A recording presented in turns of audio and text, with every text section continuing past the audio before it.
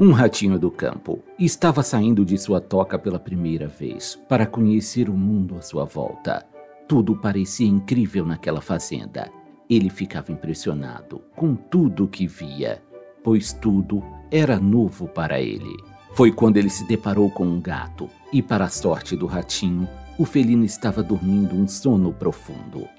O rato achou aquela criatura incrível. Parecia tão bonita e seu pelo parecia tão macio. Ele preferiu não incomodar seu vizinho e seguiu com sua exploração. Foi quando ele se deparou com o galo, que era uma criatura estranha. E o som alto do canto do galo assustou o ratinho, que correu a toda velocidade de volta para os braços de sua mãe. Já em segurança, ele contou à sua mãe dos dois vizinhos que ele conheceu. Ele falou que achou o gato tão bonito e que sentiu vontade de se deitar junto a ele, encostado naquele pelo macio, enquanto achou o galo terrível, com aquele bico afiado e o grito assustador.